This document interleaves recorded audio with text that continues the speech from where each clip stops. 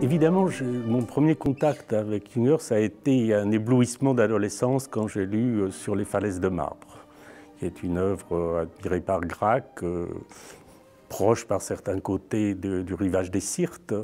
Et donc, il faisait partie des grands écrivains que j'admirais, contemporains. Et puis, quand il a fallu, comme j'étais à l'université, que je décide d'un sujet de thèse, euh, j'ai cherché un sujet de thèse comparatiste, puisque j'étais comparatiste, et donc euh, je me suis dit que deux personnages me paraissaient voisins, euh, d'un côté pour l'Allemagne, de l'autre pour la France, de talents différents bien sûr, qui étaient Drieux-La Rochelle et Jünger. Jünger était évidemment littérairement bien au-dessus de Drieux, mais dont l'œuvre n'est pas du tout négligeable.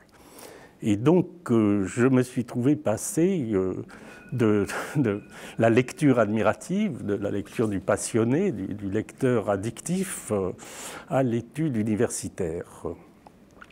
Et puis, donc, j'ai écrit cette thèse, je l'ai soutenue, et puis, Junior n'avait pas le temps de lire des travaux universitaires sur lui. D'ailleurs, euh, en France, il y en a très peu. le, mien reste euh, avec quatre ou cinq autres euh, une exception. Mais en Allemagne, il y a un déferlement de, travaux sur Jünger. Hein. C'est presque comme sur Céline en France. Et donc, il ne lisait pas les travaux universitaires, mais il avait un très bon traducteur, Henri Plard, qui a trouvé que mes travaux étaient de qualité, il m'a invité à venir le voir. Et donc je suis allé le voir euh, un hiver de 79 où j'ai été très très surpris parce que d'abord j'avais l'impression d'arriver devant un monument. Hein. J'étais un jeune universitaire de province que personne ne connaissait et j'ai été accueilli avec euh, une gentillesse et une bienveillance que j'ai trouvé euh, absolument exceptionnelle. Euh, je suis passé la voir dans cet endroit merveilleux. Alors il y avait de la neige, il faisait très froid, euh, mais il y avait du soleil. Donc je suis arrivé dans cette... Ce n'est pas un ermitage, mais presque. Hein. C'est dans les falaises de marbre qu'il y a un ermitage. Donc cette euh, très belle maison ancienne du XVIIIe siècle qui est en face du château des Stauffenberg, dans un endroit volontairement perdu, le petit village de, de, de Wilflingen en, en Haute-Souabe, qui est un village d'altitude. Et puis, euh, on a bavardé, que je suis allé avec lui et sa femme euh, au, restaurant, dans un endroit délicieux. Et puis, comme je suis peut-être pas aussi gastronome que lui, mais presque, et amateur de vin, euh, il y a une, une, atmosphère extrêmement cordiale. Et donc, euh, j'étais déjà dans, sur un pied d'amitié avec lui. Et puis, pour différentes raisons, euh, euh a cessé de traduire ses œuvres. Euh, il ne voulait d'ailleurs pas traduire Le Travailleur, qu'il trouvait qu'il ne se sentait pas d'affinité avec la philo. Et on m'a dit, mais pourquoi est-ce que vous ne traduiriez pas Le Travailleur? Parce que j'ai effectivement traduit deux tomes de Nietzsche dans la, euh, la grande, édition de Nietzsche chez Gallimard après la, remise en ordre des éditions Nietzsche qui avait été un peu trafiquées par sa sœur. Donc euh, je suis devenu son traducteur. Et donc j'ai eu des échanges euh, euh, tout à fait réguliers avec lui jusqu'à la fin de sa vie.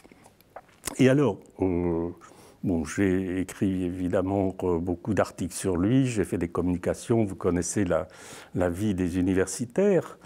Euh, j'étais vraiment entré très profondément dans son œuvre euh, parce que j'ai traduit une quinzaine de ses titres. Hein.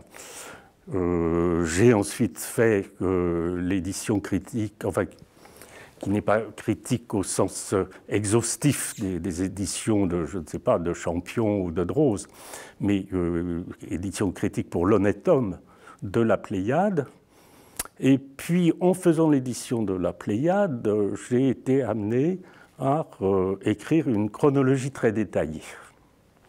Et vous savez, j'avais un petit peu les préjugés contre la biographie de beaucoup, euh, d'universitaires contemporains, mais euh, ça ne vient pas des universitaires. Vous savez que le, texte de référence, c'est le Contre Sainte-Beuve de Proust.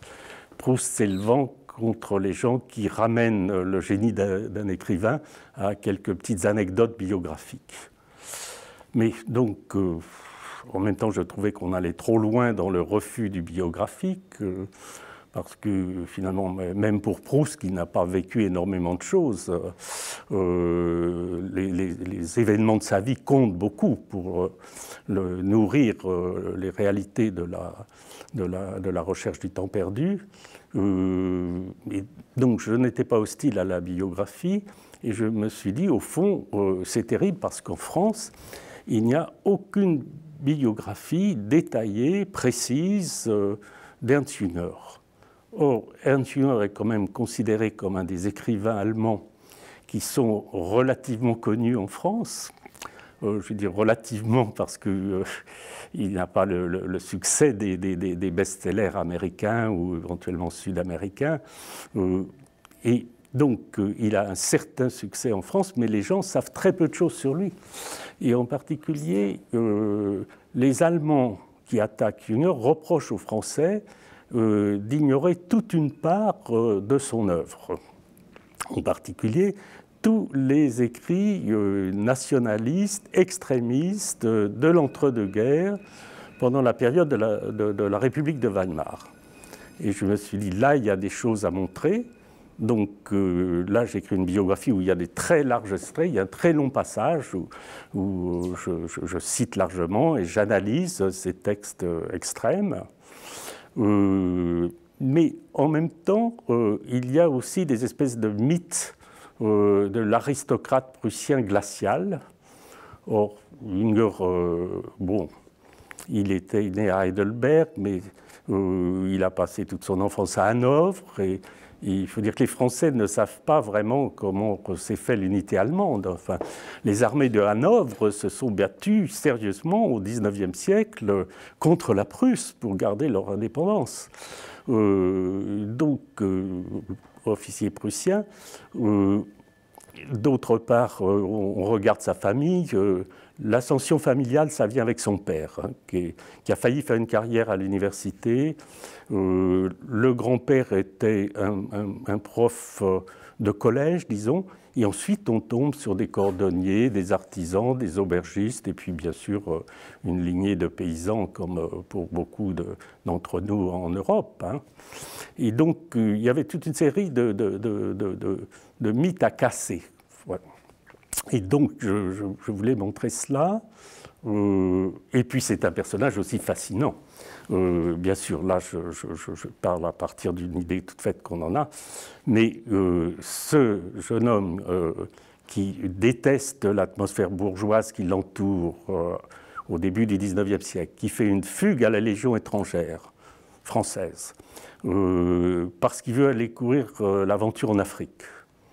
Euh, il veut aller courir l'aventure en Afrique euh, et pas à la Légion, parce que son idée, c'est de déserter une fois qu'il sera en Afrique. Qui, alors, ce jeune homme qui ensuite se, bat de façon euh, grandiosement héroïque pendant la Première Guerre mondiale, qui a une des décorations les plus nobles qu'on puisse avoir en Allemagne, l'Ordre pour le mérite, qui n'a été décerné qu'à 11 sous-lieutenants d'infanterie pendant tout le conflit mondial et puis qui devient un adversaire de la République de Weimar, qui se retire sur alors là on peut dire sur son aventin aristocratique euh, dès qu'Hitler arrive au pouvoir, qui refuse toutes les avances du parti nazi, mais qui endosse l'uniforme euh, quand la guerre est déclarée, qui se trouve au contact de l'état-major général allemand euh, pendant toute la guerre, euh, puisqu'il euh, est rattaché justement, il a des amis dans le groupe de, gens qui connaissent Stauffenberg, dans le groupe de l'attentat contre Hitler, mais lui-même ne, participe pas à cet attentat parce qu'il considère que les attentats ne peuvent pas constituer une solution.